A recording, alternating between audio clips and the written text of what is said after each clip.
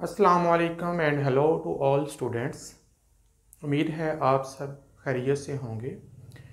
आज जो टॉपिक हम डिस्कस करेंगे वो है हाइड्रोस्टैटिक स्केल्टन हाइड्रोस्टैटिक स्केल्टन के लफ्ज़ी मतलब को देखते हैं तो हाइड्रो का मतलब होता है वाटर स्टैटिक का मतलब होता है टू स्टे और स्केल्टन कहते हैं बॉडी के ढांचे को। अब याद रखें, दुनिया में एनिमल किंगडम्स के अंदर दो तीन तरह के स्केल्टन पाए जाते हैं। एक एंडोस्केल्टन होता है, जो बॉडी के अंदर होता है, जो कि हड्डियों और कार्टिलेज पर मुश्तमल होता है।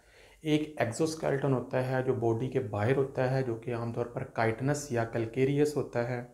सिलेशियस भी हो सकता है। लेकिन दुनिया में कुछ एनिमल ऐसे हैं जिन्हें जैसे इनवर्टिब्रेट्स हैं, उनकी बॉडी में ना एक्जोस्केल्टन होता है, ना एंडोस्केल्टन होता है और उनकी बॉडीज़ जो हैं वो बहुत सॉफ्ट होती हैं। तो उन्होंने अपनी बॉडी में लाकोमोशन करने के लिए, अपनी बॉडी को सपोर्ट करने के लिए एक स्केल्टन अल्लाह ताला ने उनको दिया हुआ है, जिसे हाइड्रोस्टैटिक स्केल्टन कहते हैं। यानी ये एक ऐसा स्केल्टन होता है जो कि पानी की वजह से होता है। इसमें अगर हम बात करें तो फाइलम सिलेंट्रेटा जिसमें हाइड्रा आ जाता है, इसके अलावा उबिलिया आ जाता है सी एनेमनी आ जाती है फाइलम एनलीडा जिसमें अर्थवर्म आ जाता है लीचीज़ आ जाती हैं फाइलम निमर्टिया और बहुत सारे मोलस्का के कुछ एनिमल के अंदर भी ये स्केल्टन जो है वो मौजूद होता है। अब एग्ज़ाम्पल के तौर पर यहाँ पर मैंने दो जानदारों का इंतखब किया है, उसमें सबसे पहला जो है वो है फाइलम सिलेंट्रेटा नाइडेरिया से एनिमल का नाम है सी एनेमनी और दूसरे नंबर पर हम डिस्कस करेंगे अर्थवर्म के अंदर। साथ ही हम उसके साथ रिलेटेड उसकी लॉकोमोशन है, वो भी डिस्कस करेंगे। तो आइए सबसे पहले वीडियो के पहले हिस्से की तरफ़ चलते हैं, जहाँ पर हम हाइड्रोस्टैटिक स्केल्टन जो है, वो स्टडी करेंगे सी एनेमनी के अंदर। सी एनेमनी जो है, ये एक एनिमल है जो कि स्टेशनरी होता है, किसी पत्थर या चट्टान के साथ अटैच होता है, इसकी बॉडी सिलेंड्रिकल होती है। नाम थोड़ा सा मुश्किल है, पढ़ने में मुश्किल आती है, लेकिन इसकी जो ट्रू प्रोनाउंसिएशन है वो है सी एनेमनी इसका ताल्लक उसी फाइलम से है जिसमें हाइड्रा जो है वो मौजूद होता है। तो ये स्टेशनरी एनिमल होता है, इसकी बॉडी सिलेंड्रिकल होती है और इसकी बॉडी के सबसे पहले हम इसका क्रॉस सेक्शन काट कर देखते हैं तो उसकी ऊपर वाली सरफेस के ऊपर हमें टेंटैकल्स नज़र आते हैं, जो कि इसकी पूरी सरफेस के ऊपर फैले होते हैं। नीचे उसकी बॉडी है सिलेंड्रिकल जिसमें दो तरह के मसल्स होते हैं जिनमें लॉन्गिट्यूडनल मसल हैं और सर्कुलर मसल्स हैं।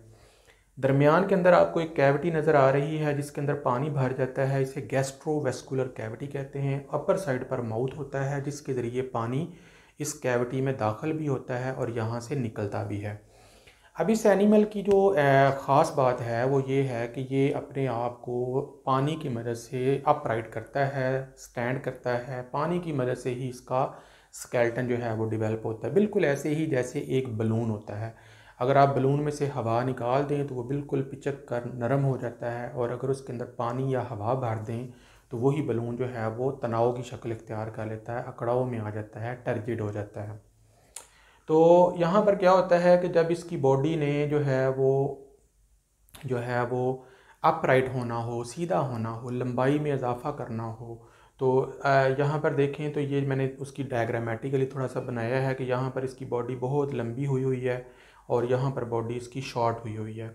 तो आम तौर पर जब इसकी बॉडी के जो लॉन्गिट्यूडनल मसल हैं वो रिलैक्स होते हैं, यहाँ पर मैंने दरमियान में लॉन्गिट्यूडनल मसल भी बनाए हुए हैं, यहाँ पर भी आपको नज़र आ रही हैं।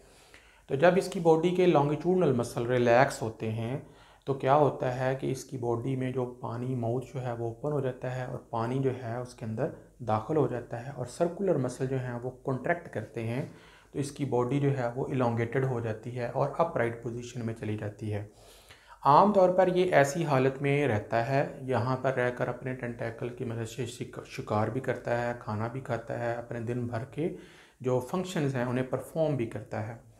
लेकिन जैसे ही इसी, इसको किसी दुश्मन का सामना करना पड़ता है, कोई पैरासाइट आ जाता है या रात का मौसम हो जाता है, दिन, रात आ जाती है, दिन का मौसम ख़त्म हो जाता है तो क्या होता है कि इसने अपने आप को रिट्रैक्ट करना होता है। रिट्रैक्ट करने के लिए ये अपने लॉन्गिट्यूडनल मसल जो हैं, जो इसकी लंबाई के अंदर मौजूद हैं, यहाँ पर भी आपको नज़र आ रहे हैं, ये कॉन्ट्रैक्ट होते हैं। जब ये कॉन्ट्रैक्ट होते हैं तो उससे क्या होता है कि जो पानी है गैस्ट्रोवेस्कुलर कैविटी में, वो उसके ऊपर प्रेशर पड़ता है और वो पानी बाहर निकल जाता है माउथ के ज़रिए से। और इसकी जो बॉडी है, वो वाइड हो जाती है और इसकी जो लेंथ है, वो कम हो जाती है और इसकी जो विड्थ है, वो ज़्यादा हो जाती है। और ये अपने आप को नीचे बिल्कुल कर लेता है और आराम से रिलैक्स होकर कुछ अर्सा जो है, वहाँ पर गुजारता है। जैसे ही फिर उसने सूरज की रोशनी निकलती है या शिकार करना है या खाना खाना है या कुछ भी करना है एक्टिविटीज़ करनी है तो ये दोबारा फिर जो है इलांगेटेड हो जाता है, जहाँ पर उसकी चौड़ाई कम हो जाती है, लंबाई में इजाफा हो जाता है। अब ये जो स्केल्टन हमने डिस्कस किया है, ये क्योंकि वाटर के कैविटी के अंदर मौजूद होने की वजह से प्रेशर फ़ील्ड कैविटी बन जाती है और उसका जो असर है वो पूरी बॉडी के ऊपर पड़ता है और बॉडी जो है वो टर्जेड हो जाती है, अकड़ाव में आ जाती है, तनाव में आ जाती है। इसलिए इस तरह के जो स्केल्टन होते हैं, उन्हें हम हाइड्रोस्टैटिक स्केल्टन जो है वो कहते हैं। अब इस तरह का जो स्केल्टन है, ये बहुत सारी सॉफ्ट बॉडी इनवर्टिब्रेट जो एनिमल हैं, उनके अंदर मौजूद होता है। अब एक और एग्जांपल के ज़रिए इसको समझने की कोशिश करते हैं। मेरे पास एग्जांपल है अर्थवरम की, जिसका ताल्लुक फाइलम एनालिडा से है। इस, अगर हम अर्थवरम की बॉडी को देखें तो अर्थवरम की बॉडी जो है, वो इलांगेटेड होती है और सेगमेंटेड होती है मेटामेरिकली सेगमेंटेड होती है। मैंने भी यहाँ पे सेगमेंट बनाए हैं, ये सरफेस है और उसके ऊपर ये एनिमल जो है, ये मौजूद है। अब इस बॉडी के अंदर भी सिलोम कैविटी होती है, जिसके अंदर सिलोमिक फ्लूड भरा होता है, और इसके अंदर भी कोई बोन्स कोई कार्टिलेज कोई कार्टन या इस तरह का स्ट्रक्चर नहीं होता। ना एक्जोस्केल्टन होता है, ना एंडोस्केल्टन होता है। तो इसकी बॉडी में जो सपोर्ट है लाकोमोशन है, वो भी हाइड्रोस्टैटिक स्केल्टन की वजह से टेक्स प्लेस होती है। अगर हम इसकी बॉडी का क्रॉस सेक्शन काट कर देखें तो इसके अंदर भी हमें दो तरह के मसल्स नज़र आते हैं। एक हैं सर्कुलर मसल जो कि उसके सरकम में होते हैं, यानी गुलाई के अंदर होते हैं और एक लॉन्गिट्यूडनल मसल होते हैं जो कि अर्थफरम की लंबाई के रुख होते हैं। तो दोनों मसल जो हैं, ये फिर जब आल्टरनेट कॉन्ट्रैक्ट और रिलैक्स करते हैं तो इसकी बॉडी के अंदर स्केल्टन भी पैदा होता है और इसकी मूवमेंट भी पैदा होती है, जो कि आमतौर पर एक म्यूज़िकल इंस्ट्रूमेंट अकॉर्डियन लाइक होती है। अब यहाँ पर मैंने क्या किया हुआ है कि डायग्राम बनाई है अर्थवरम की, जो कि यहाँ से इस तरफ़ जो है वो मूव कर रहा है। तो कहीं पर आप देखें इसकी बॉडी जो है वो वाइड हुई हुई है और कहीं पे थिन हुई हुई है। यहाँ पर थिक है, यहाँ पे थिन है, यहाँ पे। तो इसकी बॉडी में अल्टरनेट थिकनेस और थिननेस जो है वो पाई जाती है। जब मैं इसके पतले सिरे, जहाँ पे ये इसकी बॉडी थिन हुई हुई है, वहाँ से क्रॉस सेक्शन काट कर देखता हूँ तो क्या देखता हूँ कि ये जो ग्रीन कलर के मसल्स हैं, ये सर्कुलर मसल्स हैं। जो कि बेसिकली गुलाई के अंदर होते हैं सरकमफीरेंस में होते हैं। यहाँ पर सर्कुलर मसल जो हैं, ये इसके कॉन्ट्रैक्ट हुए हुए हैं। अब देखें ना अगर किसी चीज़ को सर्कुलर में आप दबाएँगे कॉन्ट्रैक्ट करेंगे तो बॉडी जो है वो इलांगेटेड हो जाएगी और थिन हो जाएगी। एट द सेम टाइम आपको रेड कलर के मसल्स नज़र आ रहे हैं लंबाई के रुख। ये लॉन्गिट्यूडल मसल हैं। लेकिन ये इस वक्त रिलैक्सड हालत में हैं। और इस दोनों मसल्स के एक के कॉन्ट्रैक्ट होने और दूसरे के रिलैक्स होने में इसकी जो बॉडी है वो इलांगेटेड हो चुकी है और साथ ही साथ वो थिन हो चुकी है। अब मैंने क्या किया है कि ये जो पोर्शन है जो कि थोड़ा सा स्वेलिंग हुआ हुआ है, यहाँ से जब हमने क्रॉस सेक्शन काट कर देखा है तो यहाँ पर भी दोनों तरह के मसल्स मौजूद हैं सर्कुलर मसल्स भी हैं और लॉन्गिट्यूडनल मसल भी हैं। अगर आप यहाँ पे देखें तो ग्रीन कलर के सर्कुलर मसल्स हैं, लेकिन ये रिलैक्स हालत में हैं और यहाँ पर रेड कलर में आपको मसल्स नज़र आ रहे हैं, ये लॉन्गिट्यूडनल मसल्स हैं। लेकिन ये कॉन्ट्रैक्टेड हालत में है। अब जब लॉन्गिट्यूडनल मसल कॉन्ट्रैक्ट होंगे और सर्कुलर मसल रिलैक्स हो जाएँगे तो इसकी बॉडी शॉर्ट हो जाएगी और साथ ही साथ थिक भी हो जाएगी।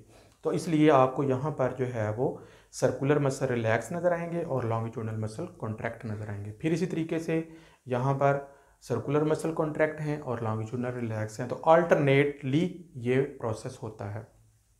जब ये मसल कॉन्ट्रैक्ट और रिलैक्स होते हैं तो बॉडी के अंदर जो सिलोम होती है, उसके अंदर जो सिलोमिक फ्लूड होता है, उसके ऊपर प्रेशर पड़ता है।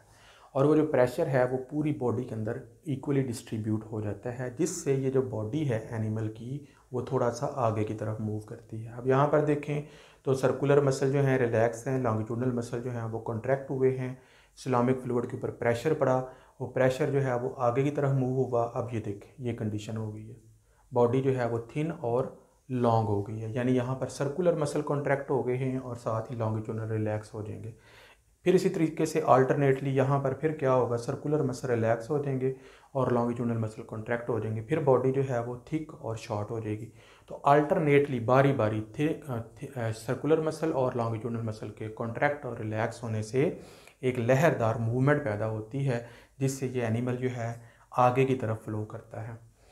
इसके साथ साथ ये देखा गया है कि बॉडी के हर सेगमेंट में a pair of chitinous setae होते हैं ब्रिसल्स होते हैं, जिन्हें सीटी कहा जाता है। यहाँ पर अगर आप देखें तो बारीक बारीक कांटे नज़र आते हैं, जिनको मैंने बड़ा करके नहीं दिखाया, लेकिन इन्हें आमतौर पर कीटी या सीटी भी बोला जाता है। ये जो सीटी होते हैं, ये फिर ज़मीन के अंदर पेनिट्रेट कर जाते हैं, मट्टी के अंदर पेनिट्रेट कर जाते हैं और लाको मोशन में हेल्प करते हैं।